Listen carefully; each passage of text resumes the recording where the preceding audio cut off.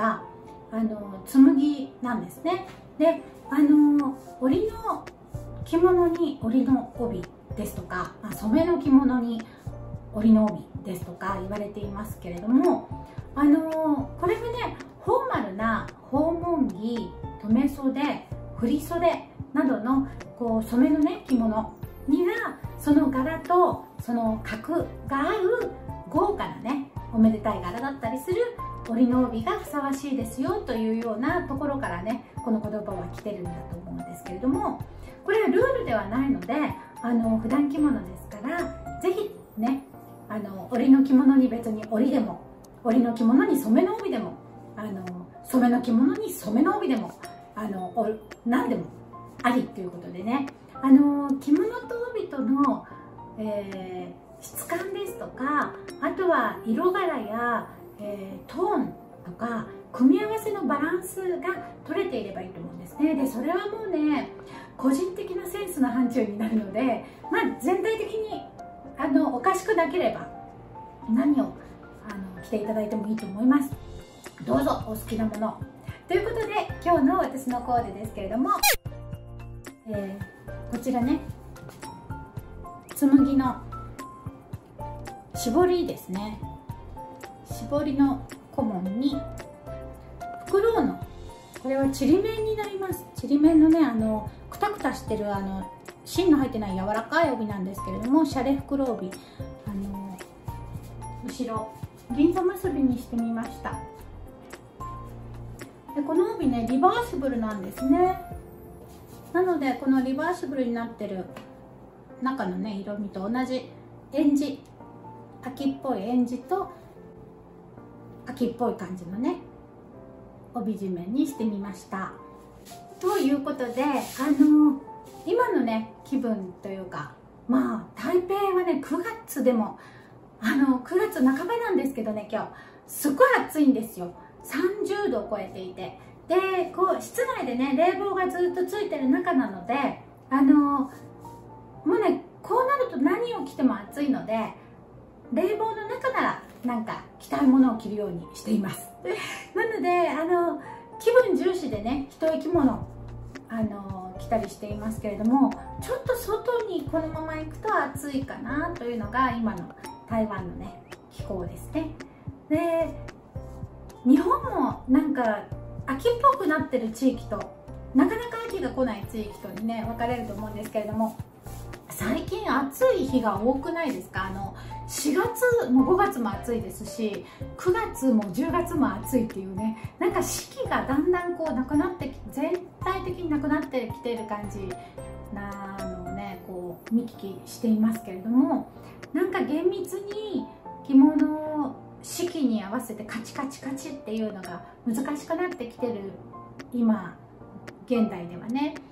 あの一重着物ってすごくあの便利だなと思っています。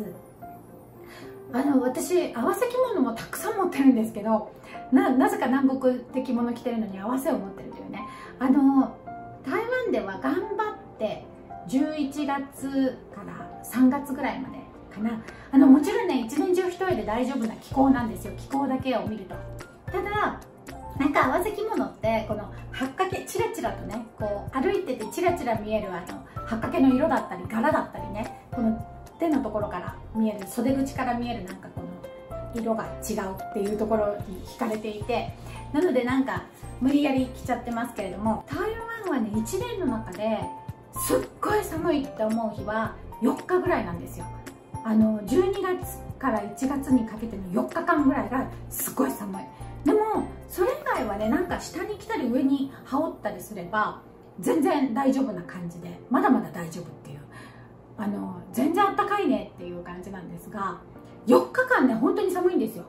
今ね台湾に住んで3回目の今度冬になりますけどその年末年始あたりの4日間だけはとにかくねものすごい寒いということは覚悟しています。それ以外はねもう一重にこう羽織れるものがあれば大丈夫かなっていう感じであの一重の話に戻りますけれどもえっと一重着物が便利なんですね。であのコスパもいいですしあの押し立てする時もねもちろんお安いですしあの軽いんですね。で浴衣からこう着物に移行してらっしゃる方も多いしそれを私もおすすめしてますけれどもあの着付けもしやすいですね。なのであの初心者の方は是非ともね一重から挑戦していただけるといいと思うのとあと紬もねいろんな紬がありますけどあの一重仕立ての紬ってこうね薄いんですよ。薄くて意外と薄い。で薄すぎないんですね。薄くて薄すぎない。こうね心もとなくないっていうんですか？あのしっかりもしてるけど薄いっていう。なんかわかるかな？夏のねロとかシャとかと比べるともちろんしっかりしてますけどでも、えっと、大島なんかでの一重はサラサラしてますからね。そんなに暑い感じもしませんしあのそう着心地がいいなっていう感じです。あのハマり中です。紬といえば普段使いというのが共通認識なんですけれども訪問着もあるんですよね。であのこちら写真でご覧ください。あの紬で訪問着っていうと普段のね少しだけおめかしにという位置づけでね着れると思うんですよ。あの紬フォーマルにはあんまり使わないというね感じなんですけれどもフォーマルで使わないのに訪問着どこに着ていくの？っていうねあの方にこう普段着でもあのお洋服のね TPO と同じように考えていただければいいと思うんですが例えばあのコンビニにちょっとそのすぐそこのコンビニにちょっと出かけるっていう時とあのホテルのアフタヌーンティーに女友達とね一緒にあのちょっとかしこまった感じで行きますっていう時とあのすごくカジュアルなカフェとかマクドナルドとか例えば。まあなんかに行く時とっておしゃれの度合いってちょっと変わりませんか？私変えるんですけどそんな時にその、えっと、ちょっとかしこまっておめかしいつもよりちょっとめかしたよねみたいな 時にあの紬の訪問着をねぜひぜひ着てもらいたいと思います。あの気取らないんですけど上質っていう感じで辻ヶ花のねこれはちょっと春っぽいので秋は出番がないかなって思うんですがあとはえっ、ー、とこの漢方染めこれ合わせですが漢方染めのやつとかあのグラデーションになってるものとかね。あとこれこの間先日あのホテルのねあのちょっとちょっとしたパーティーに来ていきましたけれども串引き紬ですね。あの少し光沢感があるので華やかな感じも出ますしでも紬だからまあ普段着ですよみたいな感じで。はい。でねそうそうここトルコちゃんが着てるこちらのあの紬の着物なんですけどこれめちゃめちゃ普段着っぽいですよね。もちろん普段着なんですけどでも実はね伝統工芸品なんですよ。すごくないですか？もうねなんだろう私ポリの江戸小紋を超普段使いにあのガンガン着てましてそのねポリエステルの江戸小紋のマ筋もと似てるんですよね。ほぼ同じ。この柄が入ってなければほとんどもう見た目が変わらないっていうぐらいあの同じなんですけどお値段全然違いますけど。そう。あのそれと同じように着ようかなと思っている紬です。なんかねこう全く気取ってないんですけれども上質っていうのが分かる人にだけは分かってまあ分かってもらわなくてもいいんです。着物って大体自己満足なので自分が着てていいなと思えばもうそれでいいっていうね完結するところが好きですね。はい。でこの秋に着るこれまあこれもまあ私が今着てるのもそうですけどもあの一重で仕立てておくと真夏以外一年中着れますからその時にやっぱりあの春に着る紬と秋に着る紬っていうことで今日あの秋なのでねこのぶどうの帯してますけどあのまずね同じ着物で帯周りだけで季節が表せるっていうのはねすごくあの素敵だなと思います。もちろん半襟でも合わせられますけれどもあの初心者さんにおすすめなのはまずね幾何学模様。このね幾何学模様の帯はもうほんと真夏以外一年中真夏はね炉とかシャノ帯あの炉とかあとそう朝とかね夏用の素材の帯を使っていただければいいんですけどそれ以外の3シーズンはあの幾何学模様の帯持っておくとかっこいいですしモダンにも仕上がりますしあのなんだろう季節を選ばないので春でも秋でももちろんね冬でもですけどまあ今秋一重の話してますのでね秋のこれからの季節っていうので考えるとあの幾何学模様だったらいつでも大丈夫です。その場合帯揚げの色とかね帯締めの色で秋を感じる色。例えばこうこっくりした色ほっこりした色あの秋の落ち葉にあるようなね色味を使われると、えっと、秋っぽくなりますし逆に、えっと、春にしたかったらこうペールトーンっていうんですか薄めのピンクだったりこう春のね野原に咲くお花の色みたいなのを持ってくれば春っぽくなりますしね一気に。なのであの幾何学模様すごくおすすめです。紬の着物にももちろんぴったり合いますからね。ぜひともあの紬の着物を手に入れたけど帯どうしようって悩んでらっしゃる方はあのすごくコスパがいいというかあの使い勝手がいいのが幾何学模様ですね。次に、えー、カトレアですとかバラですとかあのお花のね季節を問わないお花の柄っていうのもあってそれはねあの便利です。本当に万能でこちらの写真カトレアねこの帯もね初期の頃に買ったんですけどもう本当に万能で何にでも合わせられるっていうねあのそういうもの持ってると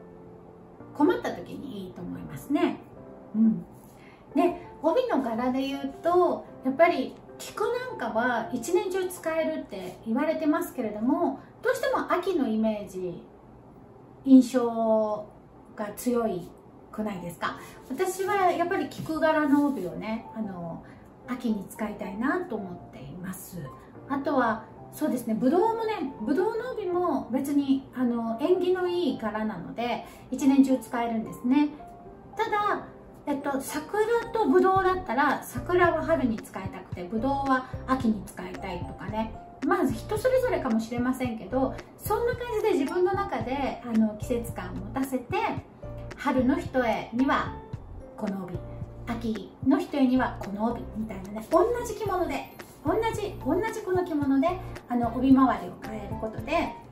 春と秋と楽しめるというねもちろんあの冬も楽しんでいただいていいですけれどもあとはですね光沢がある帯とか金や銀がちょっと入ってる帯なんかもあの私紬で着ちゃうんですね。あの紬の着物にはなんかその光沢はっていう方もいらっしゃるんですけれども全然なんかうーなんだろう。まあ全体的にバランスを見てすごく帯が浮いてるとかすごくその素材感が合わないとか思わない限りあの普段着物ですし私は合わせてしまいます。はい。一重着物何を買ったらいいのかっていうね悩まれてる方がいらしたらまああのいろんな産地によっていろんな特徴のある紬がありますからいろいろ見てからね決められるといいと思います。私もいろいろ自分でねこう着て素材感ですとかあ徴があるんだなって大島だともっと光沢があってつるっとしていてこれなんかはあのちょっとボコボコしてるなとかいろいろねあの自分で着てみるとその特徴も分かって次に何が欲しいかなみたいなあの参考にもなるので是非あのチャレンジしてみてください。はいまとめです。あの気取らないのに実は上質っていうね気取ってないけれども上質な感じはあのしますしあとは威圧感がない感じを受けませんか？私やっぱりこう染めというかちょっとフォーマル度の高いねあのつけ下げですとか訪問着を着るとやっぱりわーって着てらっしゃる方見てもわーって思いますけど紬だと意外とその訪問着でもそんなにうわっていう印象を受けないというかやっぱりこう威圧感がないのがいいなって思っています。あの実はすごいね伝統工芸品だったりするんですけどでも本当に普段の生活に馴染む感じのねあのほっこりした感じだったり安心感があったりで薄すぎずあの心もとなくない感じのしっかりしたあの印象でね、まあ、多少こう汚れとかにも強かったり、まあ、汚したくないですけどね。あのしますし。ああとはね何だろう。やっぱり40代50代60代またそれ以上のねあの大人の女性の方にぜひともね紬はかっこよくまとってもらいたいなって思ったりもしています。私もねあの50半ば過ぎますのであのそういった上質なんだけどこう安心感のあるあの紬がね似合う自分になれるように精進していきたいと思っています。それではまた次の動画でお会いしましょう。長谷川博子今日のコーデ。秋の紬一重についてのお話でした。ご視聴ありがとうございました。